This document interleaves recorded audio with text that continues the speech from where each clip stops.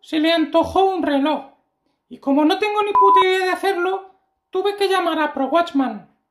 Rorro, Pro Watchman, con V, Pro Watchman. Vale, perdón, Pro Watchman. Eh, tuve que pedir de su ayuda. Escucharlo porque es muy interesante lo que va a decir.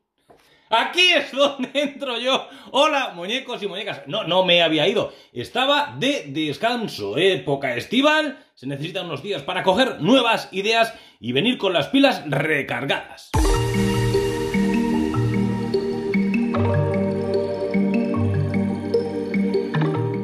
Ya habéis oído a esta chica de moda. Podéis hacer vuestro reloj desde cero a vuestro antojo. Porque en las tiendas tenéis un montón de piezas con las que podéis ir buscando vuestro reloj a vuestro gusto y haceroslo de manera autónoma. Vale, nosotros que hemos hecho hemos desmontado un reloj, pero os voy a ir diciendo cómo tenéis que empezar desde cero para montar, fabricar vuestro propio reloj. Lo primero que tenéis que buscar es una caja. Esta es estilo diver, pero podéis buscar la caja que os dé la gana. Tenéis en el mercado infinidad de cajas. Cajas de acero, cajas de aleación, cajas con la tapa trasera roscada, atornillada, transparente. Os he dejado por ahí unas fotitos, os dejaré enlace en la descripción para que busquéis la que más os gusta. Las de estilo diver tenéis 20.000, tenéis diferentes tamaños. Mirar muy bien, chicos, esto es súper importante. Que esa distancia, la de la correa, luego se ajuste perfectamente con la correa que también tenéis que comprar o que tengáis por casa. Vale, una vez que tenemos la caja comprada, esto es súper importante, es lo primero que tenéis que buscar, a vuestro estilo, ya os digo. Lo siguiente que tenéis que comprar es esto. El movimiento, el calibre, que no tiene ninguna dificultad, porque cuando vosotros compréis la caja en el mercado, os dirá para qué tipo de calibre es. Esta, en concreto, es para el NH35 de Seiko. Por lo tanto, este calibre va a encajar perfectamente en esta caja. Claro, el calibre no viene con el dial, porque también tenéis que buscar el dial, ¿verdad, Rorro? Sí, claro, yo eso no lo sabía. Bien, está por ahí la muchacha escondida. Tenéis que buscar el dial que se adecue a vuestras, vuestros gustos, diría yo. Pues como decía, tenéis que buscar un dial que se adecue al calibre que vais a montar. Esto es un NH35, tan solo con día del mes.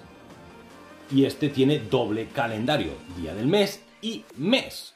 Así que este no podría, no sería válido para montarse en este calibre, en el NH35.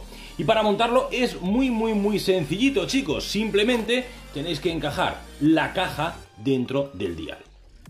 Tal que así, meterla dentro, ya está, sencillito. Y diréis, vale, ¿y con las agujas qué hacemos? Pues también pues para muestra un botón, en el mercado tenéis un montón de tipos de agujas.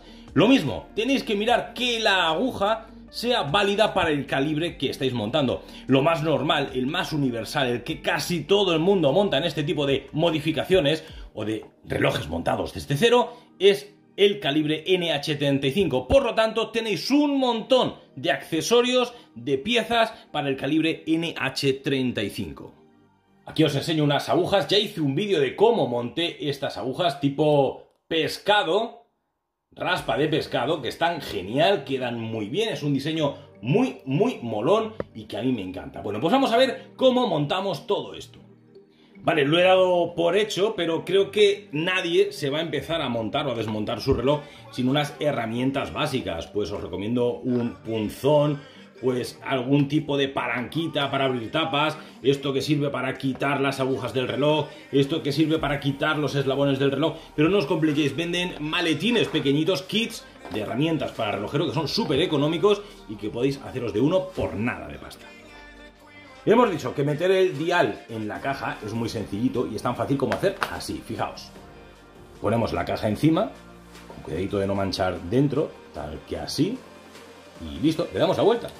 Así quedaría esto, tal cual por la parte inferior. Claro, para que esto no se mueva necesitamos otras dos piezas. Le tenemos que poner la corona, que también tenéis en estas tiendas un montón de coronas con diferentes diseños, igual que se adapte al tamaño, al modelo del calibre, Para introducirla es tan sencillo como hacer así y presionar. Ya está, ya no hay que hacer nada más. Y para que todo esto no se nos mueva, lo vamos a sujetar con una bata plástica, que la pondríamos ahí encimita. Es tan sencillito como hacer esto. Y ya está, colocado. Simple, fácil. Atornillamos la corona para que no se nos vaya. Y el calibre queda montado y tiene que estar funcionando correctamente. Ahí lo estáis viendo. Como estamos diciendo, todas las piezas vienen preparadas para el calibre, un calibre en concreto, así que todo tiene que quedar correctamente centrado. ¿Qué es lo siguiente? Tapar el movimiento. ¿Con qué? Con la tapa que compréis, que hay tapas también específicas para las cajas diferentes. Y que algunas vienen a rosca, otras vienen atornilladas, otras vienen a presión. Pero ya os digo, suele venir en el kit también este tipo de tapas, que simplemente es roscarla, como el que cierra un refresco y ya está, y se queda puesta. Pero claro, esto no estaría perfectamente cerrado. Por aquí entraría agua, tendría fugas, como mi abuela, que ya tiene fugas de vez en cuando. Pues os tendréis que comprar una llavecita hacha que viene en el kit este de herramientas para darle el último apretón, que es tan sencillo como hacer un giro. Chicos, bueno, el golpe fuerte se lo he dado fuera de cámara, está, claro. Y así de fácil es como se monta un reloj, que todas estas piezas las venden sueltas. Ya habéis visto qué poco se tarda en montarlo. Tiendas como Amazon, tiendas como AliExpress, Jarves, etcétera, etcétera, tienen este tipo de piezas y son súper económicas. Montaros el reloj vosotros solos. Todo esto funciona, ya os digo, si queréis aprender a montar o quitar agujas, decírmelo que yo os enseño. ¿Qué nos quedaría? La correa. En el mercado tenemos diferentes tipos de correas, correas metálicas, correas nato, correas de cuero, el estilo es el que vosotros queráis. Yo voy a ponerle una nato, estaba con una correa metálica, se lo voy a cambiar, voy a cambiar el diseño para este veranito. Como os decía, este tipo de correas se ponen muy sencillitas con el armis puesto. Pasamos por un lado este extremo de la correa, estiramos, lo pasamos por este otro. Muy, muy, muy sencillito, ya os digo. Y ahora le engancharíamos en estos dos pasadores. Tal que así, así quedaría este reloj montado con su correanato, me parece muy elegante, muy bonito. Y así es como quedaría puesto. Ya os digo, se tarda muy poquito en montar un reloj, tiempo real prácticamente. Lo que más podéis tardar es en poner y en quitar las agujas, es lo que más entretiene. Si queréis aprender a hacerlo, decírmelo y os hago un vídeo. Pero comprando las piezas aparte, que os voy a dejar fotitos, enlaces, de lo que os dé la gana, podéis montaros el reloj que queráis a vuestro gusto, con diales, con agujas, con biseles, con todo lo que queráis, podéis personalizar vuestro propio reloj. Chicos, chicas, muñecos, muñecas, rorro, espero que hayáis aprendido a hacer un reloj. Nos vemos en un, espero que guante, próximo vídeo. Chao, chao.